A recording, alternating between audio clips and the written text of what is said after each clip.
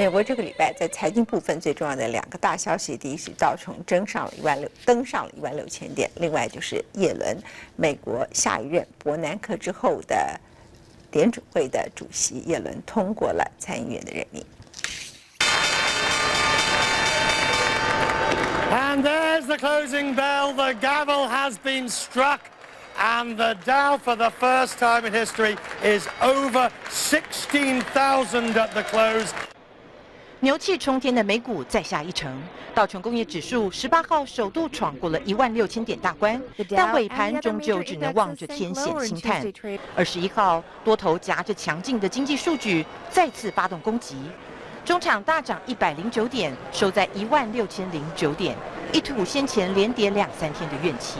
When you can pin it on a better than expected drop in weekly jobless claims, that could be the impetus to uh, getting the Dow to go as high as it is.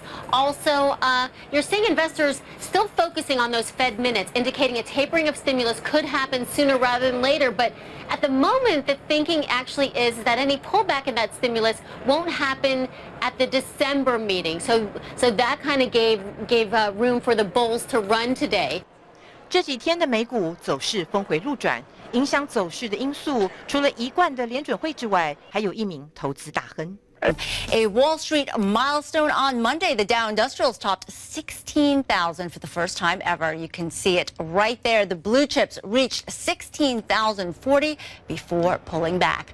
Now, in the end, the Dow gained 14 points to finish at 15,976. That is a record close.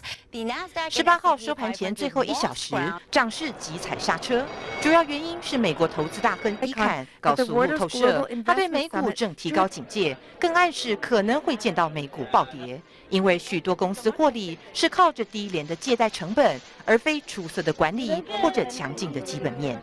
And I'm more bearish on the market than than at this point. I'm sort of negative on the market. I'm not saying rampantly bearish, but negative.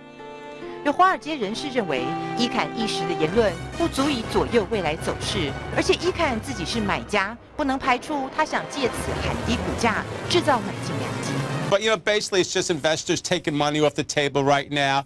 Uh, the market's going to go high. It's going to digest this. It'll come in a little, but it'll go back up. As long as the Fed's here, this market's in play.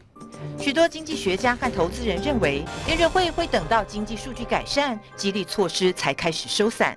但曝光的会议记录当下惊醒了沉浸于 QE 资金盛宴的投资人。The Fed says, quote, it might at some stage be appropriate to begin to wind down the program before an unambiguous further improvement in the outlook was apparent. 立场鹰派的联准会决策官员辩论是否在经济和就业数据改善前就开始缩减 QE 买债力道。但是联准会主席伯南克在华府对全国经济学家联谊会演说时，仍旧是一贯的鸽派立场。Effects of monetary policy on the economy today depend importantly not only on current policy actions, but also on the public's expectations of how policy will evolve. The automotive analogy clearly breaks down here because it's like the current speed of the car depending on what the car itself expects the driver to do in the future. 这也是奥巴马总统提名耶伦继任主席后，伯南克首次的公开演说。他表示，美国经济尽管已有显著改善，但离官方的理想目标还有一大段距离。分析十月的会议记录，意味着最快十二月联准会就可能宣布缩减购债规模。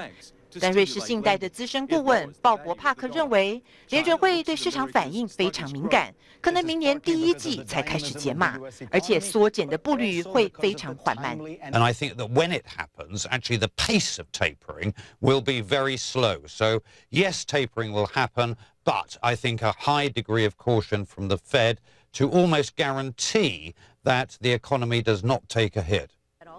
他预期二零一四年第一季联准会每月购债规模可能缩减到七百亿美元。回头看美股，从二零零八年底第一轮 QE 推出以来，标普五百指数暴涨了百分之一百一十。今年以来，标普飙涨超过百分之二十五，道琼指数上涨百分之二十。看着股指不停上冲，许多人心里的疑问都是：股市泡沫化了吗？I- I don't see a bubble right now. Normally, I would say, yes, this is a bubble, but because the feds are backstopping everything, uh, I don't see a bubble because they're just going to keep pouring this money in. So this market has nowhere to go but up. 另一名交易商也不看淡后市，不过他认为目前美股热过头，需要修正。过去两个月修正幅度仅百分之五，他说至少应拉回百分之十才像样，届时就是买进良机。 I'm very cautious. The, the, the market has run too far too fast, in my opinion. I've only been at this 30 years, so, you know, Carl Icahn may have a better look at it. But I, I think the market is due for a pullback. But again, no reason to panic, no reason to, to start selling your, your stocks that you own. As a matter of fact, when this, the market does pull back, you should be buying them, not selling them.